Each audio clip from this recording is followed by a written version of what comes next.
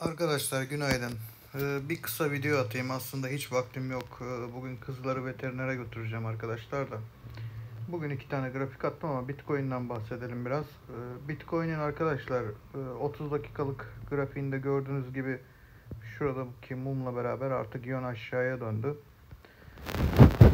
Şimdi bizim e, 4 saatlik mumlarımızda şöyle bir testere var arkadaşlar şuradaki e, boğa formasyonunu aşağıya kesen, buradaki alıcıları stop eden bir formasyon. Peki bu alım neci? Onu da hemen izah edeceğim arkadaşlar. Burada büyük ihtimalle bir trend devam formasyonu oluşacak. Sadece e, mumlara bakarak bunu söylemiyorum arkadaşlar. Bizim normalde e, şöyle bir çizim yaptım arkadaşlar. 2618 formasyonu bekliyorum. Normalde hedefim burası. Ee, buradan bir düşüş fakat bu dipte iyi bir tepki geldiği için 0.618'ine kadar bir geri çıkış ve bir daha düşüş yani bir ABC formasyonu ol, e, dalgası olma ihtimali var. Şimdi 30 dakikalık grafiğimize bir düşelim arkadaşlar. Şimdi buradaki e, dalgalarımızı bir sayalım. Burada bir X dalgamız var arkadaşlar. Burada 5 itki dalgamızdan oluşan bir düşüş var. Burayı bir o halde bir e, bir dalgası olarak düşünmemiz gerekiyor. Şimdi e, buraya baktığımızda arkadaşlar bunun da bir ABC düzeltmesini gece yaptı burada. Tekrar fiyat aşağıya geliyor. Burada ne bekleyeceğiz? E, bir düşüş, bir yukarı çıkış, sonra daha sert düşüş, tekrar yukarı ve bir kısa hareketten sonra bu e, ilk A dalgasını yapmasını bekleyeceğim arkadaşlar. Buralara da gelebilir, buraya da gelebilir. Bakacağız. Bu 200, 2618 illa oluşacak diye beklemeyin arkadaşlar. Buralarda da olabilir. 0382'ye kadar da düşebilir. Bu itki dalgamız tamamlandıktan sonra burada bir A ayağımız oluşacak. E, düzeltme dalgalarında A ve C'ler 5 dalgadan oluşur arkadaşlar. E, yani şurada 1, 2, 3, 4, 5 dalga saymamız gerekiyor A ayağı için. Ve daha sonra 3 dalga halinde bir B ayağı tekrar bir yükseliş. Sonra tekrardan bir 5 dalga halinde düşüş beklememiz gerekiyor arkadaşlar Bitcoin'de. Şimdi Bitcoin'in e, şöyle göstergelerine de bakacağız arkadaşlar. E, hacimine bakacağız. Başka ne, ne vardı aklıma gelen? Harmonic Patterns. Evet. Şimdi 4 saatlik grafiği alıyorum. Şurada bir ABCD formasyonu yakalamış arkadaşlar. Ee, indikatör. Ee, uyar mı uymaz mı? Ama genelde bu indikatör bunları verdiği zaman çalışıyor arkadaşlar. Çalışmadığı çok nadir. Çalışmadığı çok nadir. Gerçi onun da ilk hedefi gelmiş. Yani ilk hedefi gelmiş. Ama ikinci hedefe henüz gelmemiş. Ee, RSI'ye baktığımızda arkadaşlar ayı uyumsuzluğu var. 4 saatlik grafikte iki tane ayı uyumsuzluğu var. Henüz bunun düzeltmesi gelmedi. Hacme bakıyorum. Hacim çok düşük arkadaşlar. Hacim çok düşük. Sadece şurada bir yeşil mumda e, bir ortalama bir hacim var. Şöyle bakıyorum hacim bayağıdır düşük. Hacim şu mumdan beri düşük arkadaşlar. Burada çok hacimsiz bir yükseliş gelmiş. Hacimsiz yükselişler biliyorsunuz e, düşüş getirir. Aynı şekilde hacimsiz düşüşler de yükseliş getirir arkadaşlar. Burada bakıyoruz. Hacimsiz bir düşüş var. Daha sonra bir yükselişe geçmiş. Burada e, gördüğünüz gibi hacimli bir yükseliş var ve yükseliş devam etmiş arkadaşlar. Şimdi Bitcoin'de durum bu şekilde e, mumlarına şöyle tekrar bir bakalım. Yani dediğim gibi bir e, düşüş devam formasyonu olacakmış gibi bir izlenim veriyor arkadaşlar. Bu nerede iptal olacak? Bu arkadaşlar şu tepenin üstünde iptal olur. Buradan artık e, düşüş iptaldir burada. Burada düşüş biter arkadaşlar. E, bu testerenin üzerinde kapanış yapması da bunu iptal eder arkadaşlar. Yani şöyle bir kapanış gördüğümüz zaman 46.500 civarı iptal olur ve veya fiyat bunun üzerine çıkarsa şöyle 46.800 civarına iptal olur arkadaşlar. Benim beklentim bu şekilde Bitcoin'de. Ee, Bir de cake paylaşmıştım. Hani daha doğrusu onu ben bulmadım arkadaşlar. Bir arkadaş buldu Twitter'da. Ee, Ben de ölçülerine baktım. Ve tutuyor gibiydi. Şimdi şöyle baktığımızda arkadaşlar şu şeyi kapatayım. Şunu bir gösterme bize. Şöyle bir ana ekrana alayım şunu. Şurada bir yarasa formasyonu var arkadaşlar. Küçük hata paylarıyla tutuyor ölçüleri. Şimdi burada bunlara baktığımızda bir engulf var arkadaşlar. Aşağı yönlü bir engulf var fakat şu bölgeyi şuradaki alım takviyesine altında kapatamamış arkadaşlar. Şimdi burada bir satış takviyesi yapar da altında kapatırsa aşağı yönlü baskı artacaktır bunda. Bölgelerini e, bu ara bölgelerini falan çok çizmedim arkadaşlar bakmadım. Fibonacci seviyelerine denk gelen bir, bir yer var mı 4 saatlikte şöyle bir bakayım. 0382'de bir yer var mı? Şurası belki bir destek dirençtir. Ee, şöyle saatliğe düşelim bakalım. Burada göremediğimiz bakalım. Yok. Şöyle 30 dakikalığa kadar düşelim var mı? Yani burada bir bölge gözükmüyor arkadaşlar. 0618'de var mı bakalım. 30 dakikalıkta görünemedi. Saatliğine bakalım. Bunda da yok. 4 saatliğine bakalım. Şurada bir e, birikim var arkadaşlar ama bakalım bir inceleyelim neymiş. Bir inceleyelim neymiş. Bu bölgeden bir tepki almış, yükselmiş. Burada ne var? Burada bir engulf var arkadaşlar. Burada e, sağlam satış gelmiş fakat yükselişle terse bırakılmış arkadaşlar ve fiyat buraya geldiğinde de e, alıma girmişler. Yani pozisyonlarını kapatmışlar. E, altcoin'de çok şey midir emin değilim. Ama biz yine de yani çoktan likide olmuşlardır. Orada kimse kalmamıştır ama şöyle işaretleyelim arkadaşlar. 0618'in birazcık üzerine geliyor.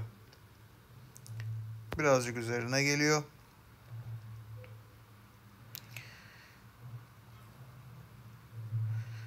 Şöyle baktığımda şöyle biraz daha alt zaman dilimlerinde de bakalım. Arkadaşlar şu kırmızı mum şu kırmızı mum yönü aşağıya çevirmiş. Cake'de. Şöyle bir bakayım. Şöyle bir 15 dakikalıktan bakalım arkadaşlar mumlarına şey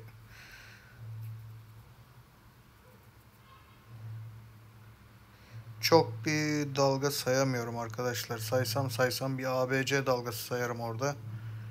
Burada 1 2 Bunda da çok doğru dürüst sayılmıyor ama yok. Altcoin'lerde çok hani zaten baksak da çalışacağını zannetmiyorum arkadaşlar da. Düşük hacimli oldukları için. Şimdi bunun göstergelerine bakalım. Pardon göstergelerimiz zaten açık. Şimdi 4 saatliğinde şurada bir ayı uyumsuzluğu varmış. Çalışmamış arkadaşlar şurada. Şurada bir ayı uyumsuzluğu varmış. Çalışmamış. Şurada bir ayı uyumsuzluğu varmış, çalışmamış. Buradaki de çalışmamış. Şimdi e, fiyat üstlerde hacim gelmiş fiyata. Bakın bu üstlerde şurada yüksek bir hacim var arkadaşlar. Bu hacim büyük ihtimal e, satıcılar geldiği için oldu ama bu hacimin gerçek hacmine bakarsak satıcılar üstün gibi gör şey alıcılar üstün gibi görünüyor. Hani indikatörü daha yeni bir arkadaş onu yazdı, düzenledi. Hani çok içeriğini bilmediğim için de emin de olamıyorum. Şimdi şöyle e, ufaltayım. Pardon kaçırdık ayarını. Şimdi bir de harmoniklerinden bakalım. Arkadaşlar krep varmış çalışmış. ABC çalışmış. Burada şu an herhangi bir harmonik vermiyor. Saatlikten bakalım. Pardon saatlikte. Heh, çalıştı. Bitcoin'de çalışmıyor bunun saatliği de. 30 dakikalıktan bakalım. Butterfly yarım kalmış arkadaşlar. Burada şu an herhangi bir şey görünmüyor. 15 dakikalıktan bakalım. Dip crab varmış. Çalışmış zaten. İndikatörü merak edenler için arkadaşlar şudur. ikinci sıradaki Auto Harmonic Patterns diye. Yani oluşmamış olanları göstermiyor arkadaşlar ama güzel bir indikatör. Şimdi e, dolar TL sormuşlardı arkadaşlar ancak dolar TL e, benim beklediğimden şöyle söyleyeyim. Aa ya buraya kadar geldi. Bu tamam arkadaşlar. Bunda bir sıkıntı yok. Fakat B ayağı çok üste geldi. Şöyle geldi arkadaşlar. Bu durumda bunun düşüşü yine buralara bir yere gelebilir arkadaşlar. A'nın boyu kadar yani yaklaşık onu e, kendiniz de ölçüp hesaplayabilirsiniz. Pardon biz nereye koyduk bunu? Neyse bunu sil gitsin.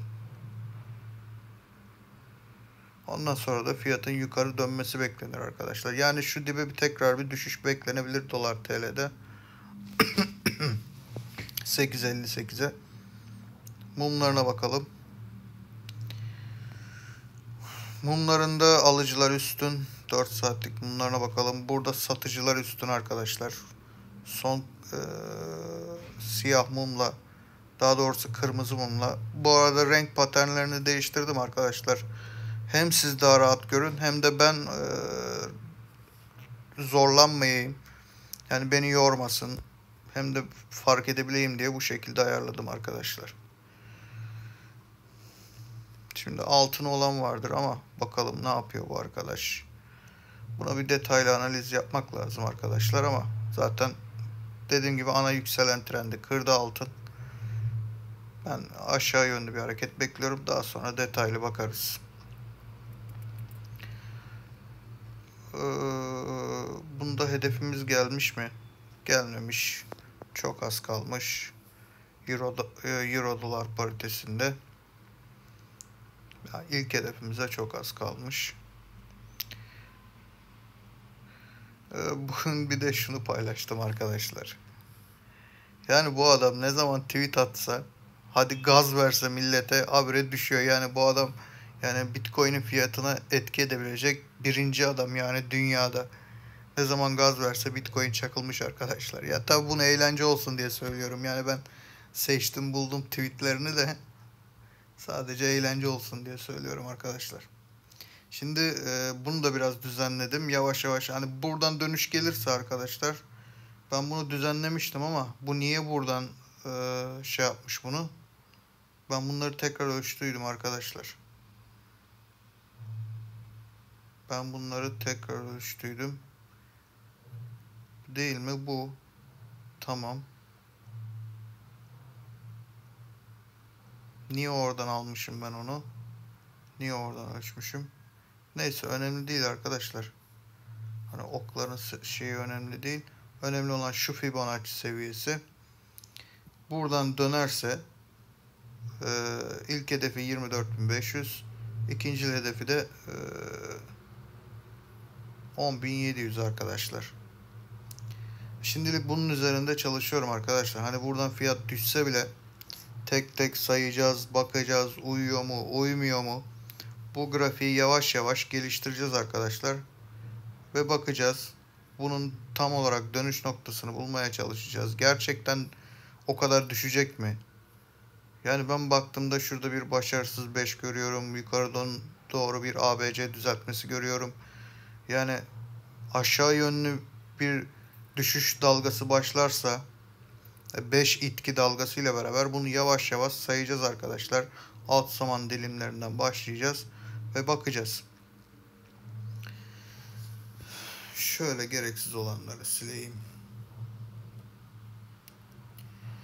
Yani şimdi şöyle bir olay da var arkadaşlar. Bakın size şunu bunu gerçi eskiler biliyor ama şimdi normalde Elliot kurallarına göre 0.618'e kadar e, evet çıkabilir düzeltme dalgaları şeyler ama genelde Bitcoin hep 0.5'ten dönmüştür.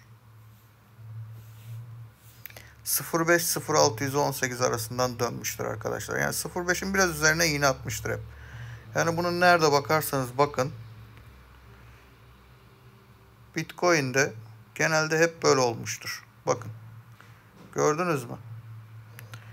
Ha şimdi yine bir düzeltme dalgası 0.5'e kadar çıktı arkadaşlar. Hatta üzerine yine atabildim bakalım. Üzerine yine atamamış. Henüz üzerine yine atamamış. Yani oraya kadar geldi arkadaşlar bir düzeltme dalgası yine Bitcoin'de. Buradan döner mi dönmez mi bakacağız. Şimdi Bitcoin'in e, tekrar son bir şu çizdiğimiz grafiğine bakalım. Neler yapıyor şöyle 30 dakikalık grafiğimizi alalım. Şu anda alıcılar zayıf. Bakacağız bakalım neler olacak. Yani şurada biz şu anda ilk dalgamızı tamamladık gibi. Sonra şimdi artık uzun bir 3 dalgası gelmesi gerekiyor. Yani ne beklememiz gerekiyor? Şöyle arkadaşlar şurası C dalgasının bittiğini farz ediyoruz. İşte şöyle 1 2 işte şöyle 3 4 5 dalga gibi bir şey bekleyeceğiz. Şunu şöyle ayarlayayım. Evet.